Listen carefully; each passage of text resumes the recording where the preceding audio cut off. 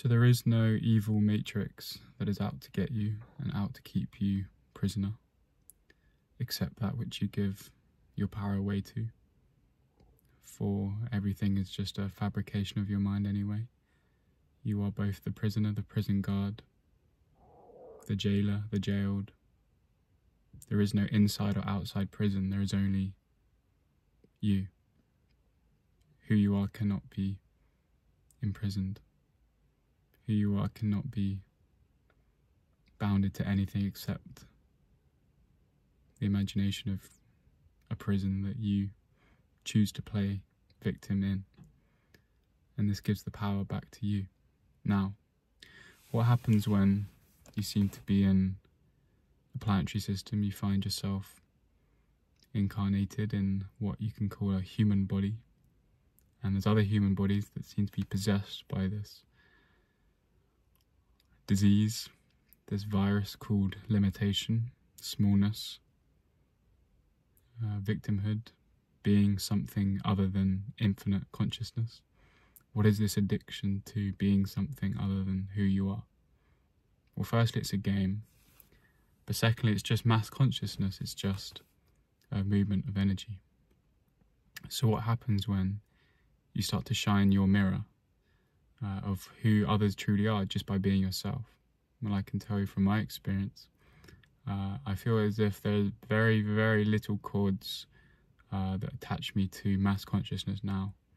Uh, I had to buy into a certain amount in order to have an experience of smallness, um, to know what it's like to condense myself down into anything other than uh, just the infinite consciousness I knew myself to be uh, in order to have an experience of human life.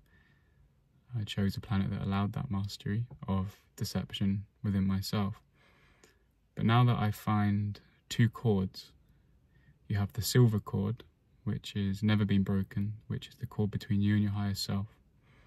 And no matter how much you cover that up with um, distortion and confusion and separation and stories, that cord between you and the source, which has never been broken, you could say as a scuba diver that dives into the sea and never is actually uh, broken from the cord that gets into the boat. It's really just an illusion that you're in this ocean, uh, disconnected from source.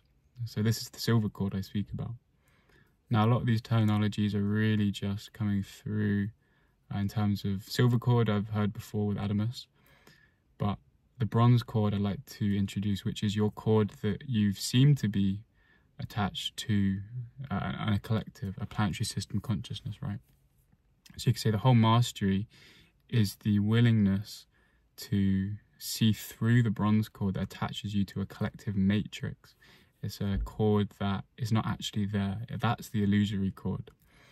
So you'll find yourself in a planetary system where people seem to be prisoners, right, to their thoughts. They seem to really be addicted to this prison mentality that they're in some kind of trapped thing and if they were to get out then then they would be free right? This is the addiction.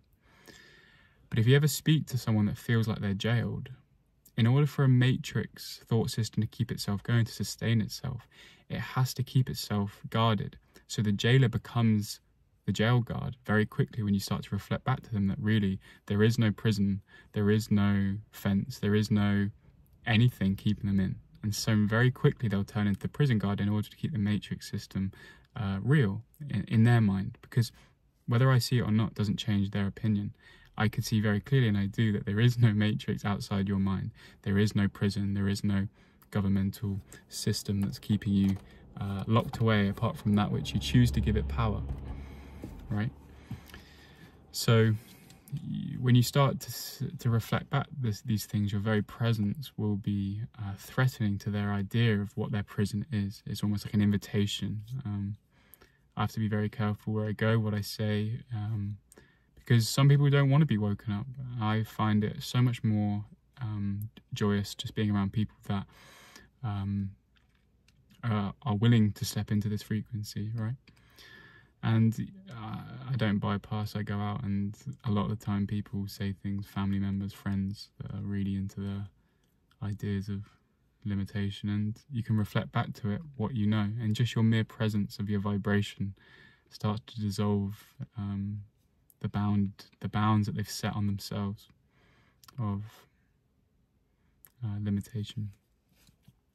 So that's what I wanted to say today was don't feel down if others, um, the prisoners of their thoughts, they turn into prison guards in order to keep and sustain a matrix of thought going. Because all a matrix is is a condensation of energy. It's just a it's just an energy pattern. That's all it is. there's no drama. There's no stories. There's no being that's webbing this whole matrix that has the rest of humanity under a spell. No, it's just a it's just an experiment. There's just a cluster of energy, and it's an experiment to see which clusters of energy, which clusters of consciousness seem to choose freedom, choose uh, service to the whole, uh, positive polarity, and which seem to go along with the negative polarity, which seem to go along with the addiction to um, really not breaking free out of the condensation of um, the one substance of God.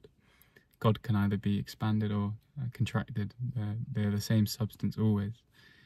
Uh, and so you're just seeing reality and perceiving reality on different planes of uh, perspective. That's all it is. There's nothing even wrong with the Matrix. Like, you get to experience what it's like to have a heroic story out of the Matrix. You get people like Andrew Tate that are so you know what?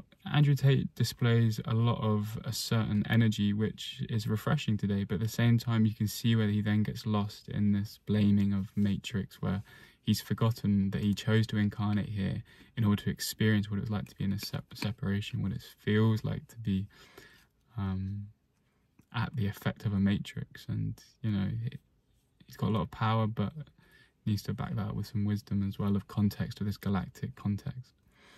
Um, I'm sure I meet him one day. I get a sense that um,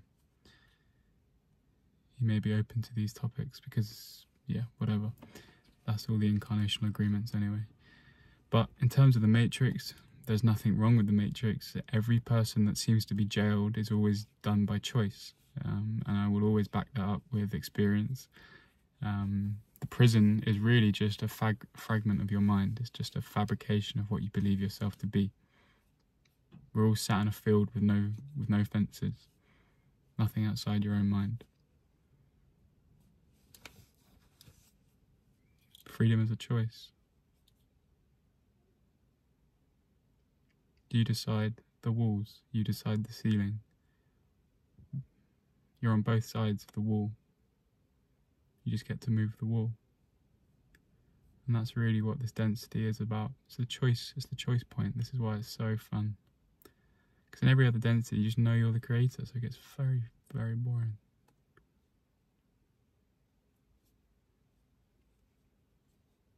But in this one, it's like a game of blackjack. You never know. You have a rough idea of where your consciousness will go within the timeline of this incarnation, but you can only set certain themes that you like to explore, and within those themes, it's quite a wide corridor anyway. But here it was found very quickly what it wanted, and it wanted service to the whole. It didn't. It. It's not that it was heroic and saw that service to the self was like no. It was very much service to the self just didn't work. it's tried it, trust me. Power. Even other incarnations came back of having um, dictatorship over large groups of people. And in this incarnation, it's been almost like a remembering of that in order to say, well, is this is this what you want again? Because karma, all karma is is the play of energy.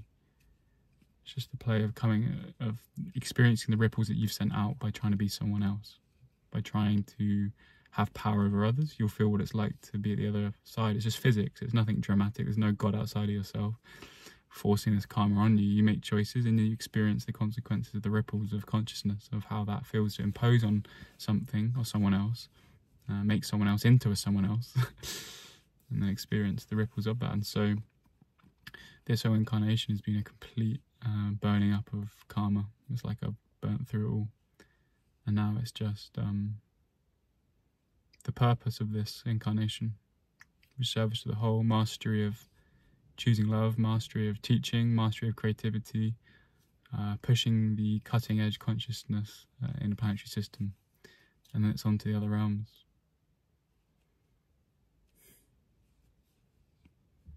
It's on to the other realms. But there's still work to be done here. There's two little dogs walking past. So you don't get dogs in the other realms. They're not as physical, they're not as dense, they're thought images in the mind. See, everything manifests instantly in the spirit realm. It's no fun. See, we, we tend to try and get back to the spirit realm so so quickly. And the spirit realm isn't anywhere else, it's right here in your heart. But when you remembered that there was a choice point to come here, to experience delay in your manifestations, the ability to have something to work towards, something to master, something to learn from. Your soul becomes such a master. It masters growth, it masters themes that you can't explore in instant manifestation. I'll tell you what, the consciousness in this being, in this incarnation, has soared in the last two months, I'd say, to the point where, like, I didn't realize the frequency would pick up this quickly through choice. Maybe it was a pre incarnation thing. It was like the, for the first 10 to 15 years of your life, you'll just feel very strange, very alienated from the rest of the planetary system. Then from age 15 to 20, you'll really find yourself in terms of who you are, which made you even more alienated. This, I'm speaking to my younger self right now because there is a a younger self right now listening to me. This is how the universe works. You have an infinite number of selves that are all learning from each other. And so I'm speaking to my previous self right now. And I'm probably speaking to one of yours as well because I can act as a teacher and you act as a teacher to me. All of it, all of uh, creation is working together in this pulsing. And so if I speak to my previous self, the first fifth, let's say I'm briefing on how the life went, because there's always a life review at the end of an incarnation, right? So I'd say the first 15 years you're going to feel very alienated, but this is going to give you the drive to really find what it is you want life, what it is that you're here for. From 15 to 20, there's going to be a deep search, a deep anguish, uh, deep suffering. This is where it really ramps up. From 20 to 25, and I'm now 25, that's the year of uh, exponential growth in consciousness. Uh, the frequency picked up tenfold. And then from the age of, what am I now? The last two months, so between summer to Christmas of 2023, exponential. Everything starts flooding back. Uh, the incarnations in Egypt, Italy, other, you know, just just just intuitions, but still very helpful for this lifetime. Working with Saint Germain in the in the energy schools, mystery schools of Egypt. Um, ET contact specialist for for the next um, wave of Pleiadians that come down. Like all of this stuff would be fucking insane to my younger self, but now it's like, yeah, of course, it's like a veil that lifts. Technology's coming through. Free energy is just so obvious how it's going to come about. Teleportation, which I think will actually be in the next incarnation. I feel like the planetary system's not ready for that. But in terms of speaking to my younger self, from age 20 to 25, you'll slowly loosen your grip on trying to fit into that collective as well. Because you'll see that they're just as confused as the rest of them. and you know best. You know you know yourself, and it's a deep trust that you, you wonder why others don't trust themselves. And then you really start to fall in love with yourself. There's a point where you're on the brink of just falling madly back in love with yourself. You wonder why you didn't do it earlier. But it gave you the taste of what it's like to really abandon yourself and to come back. Realize you were you were lovable all along, only by yourself. You can only gift yourself love. No one else can. They can only reflect back the love that you're willing to give to yourself. Yeah, it's beautiful. Alright, I love you. I'll see you later. Bye bye.